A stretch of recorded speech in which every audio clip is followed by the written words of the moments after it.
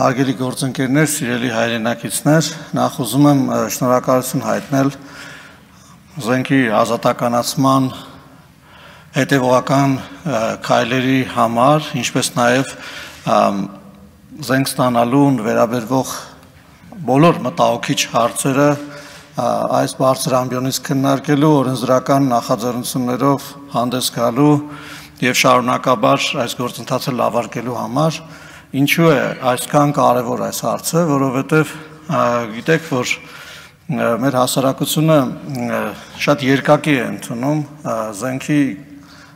նկատմամբ եղած բոլոր հարցերը, հաշվի առնելով թե հասարակության անվտանգության հարցը, թե որոշ մշակութային առանձնահատկությունները եւ թե Հայաստանի անվտանգային վիճակը։ Ես ուզում եմ, որ մենք փոքրինչ ավելի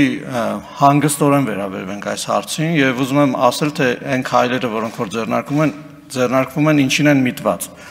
Ըստ էության քայլերը միտված են նրան, որ նրա բոլոր նրանք, ովքեր ցանկանում են զենք ունենալ եւ զենք կրել,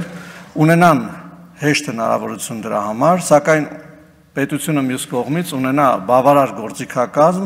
նրանց զենքի վերաբերվող գիտելիքները, ինչպես նաև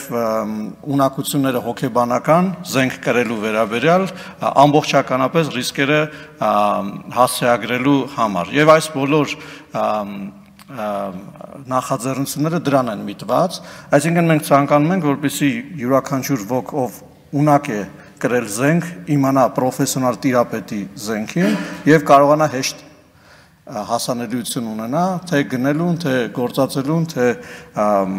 անընդհատ եւ բարբերաբար գնալու եւ փորձարկելու իր գիտելիքները։ Սրանով կարծում եմ մենք համապարփակ լուծում կտանք բոլոր այն մարտահրավերներին, որոնք արկա են եւ եւս մեկ անգամ ուզում եմ կոչ անել մասնավոր ներդրողներին Հայաստանում քաղաքացիական հրաձգարաններ բարձր միջազգային պրոֆեսիոնալ մակարդակի հիմնելու վերաբերյալ եւ քաջալերել նրանց այս հարցում։ Այստեղ բավականին մեծ դաշտ է բացում ներդրումների Ես ուզում եմ, որպեսզի մենք Հայաստանում հասանելի ենթակառուցվածքներ ունենանք քաղաքացիների համար իրենց ունակությունները զարգացնելու հրաձգության մեջ։ Շնորհակալություն։